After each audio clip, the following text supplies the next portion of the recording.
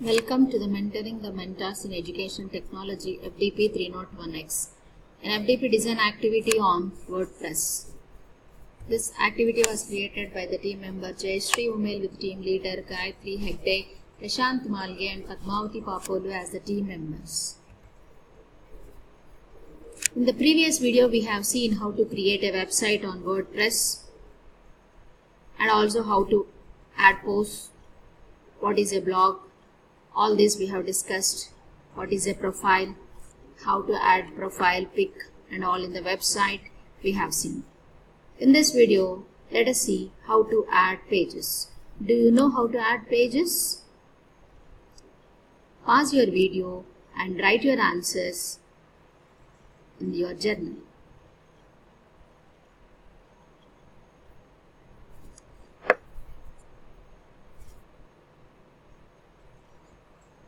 Go to your website that is created and let us go to the site pages. So let us add a page. So if you want have a separate page for all your research activities, type research activities in chemistry. Then add some media pic. Or you can add a video. And you can add something in the paragraph as we have discussed in the previous video how to add a video how to write about the pic and all we have seen. Then go for publish.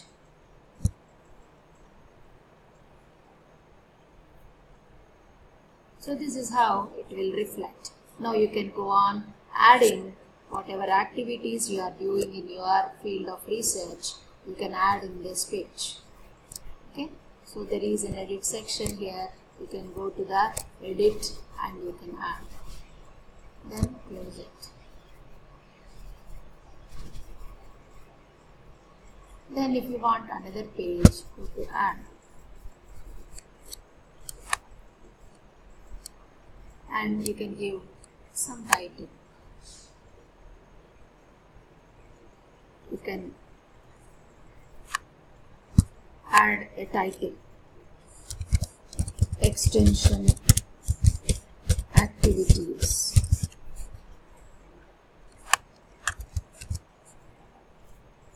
And you can add another pic for this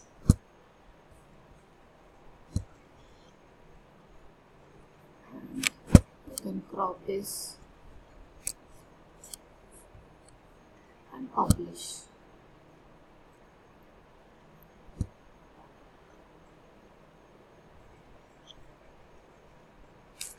this is how another page was created on your website. Then go. So you can see here now you are having a page on extension activities. You can add go on updating this page similarly you can have research activities in chemistry. And you can add go on adding in this. This is how you can create pages. So separately you can add media also. Another media.